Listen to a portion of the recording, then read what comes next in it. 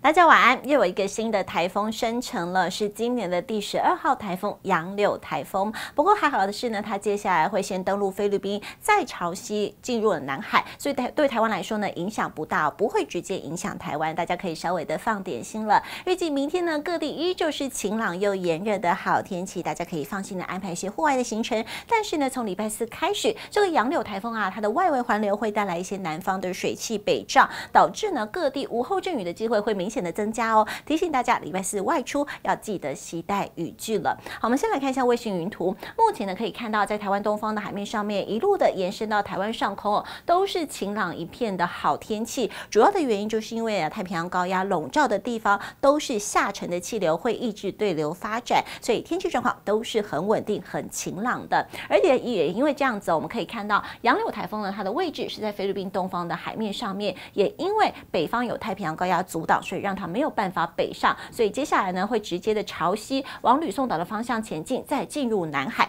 不会直接影响台湾。不过在它进入南海之后呢，它的外围环流就会带来一些南方的水汽北上了，导致礼拜四之后呢，台湾各地的水汽都会明显的增加，午后雷阵雨的机会也会大大的增加了。所以我们来看一下，明天礼拜三呢，持续受到太平洋高压笼罩的影响，都是很晴朗、炎热、稳定的好天气，就像今天一样。不过，从礼拜四开始呢，这个水汽北上之后，水汽增多了，午后雷阵雨的机会范围跟规模也会大大的增加，所以再次提醒大家哦，礼拜四之后外出，大家务必都要记得带上雨具了。早上出门的时候可能还没有什么明显的感觉，不过啊，中午过后恐怕就会开始变天了。好，所以呢，来看一下今天晚上到明天清晨以及明天白天，各地依旧是好天气，而且高温啊都有机会来到三十三度以上，特别是北部的都会地区、大台北都会地区都有机会来到三十六度左右的高温。提醒大家外出要。记得多补充水分，而且紫外线很强，也要记得做好防晒的工作了。以上就是今天的播报，我们下次见。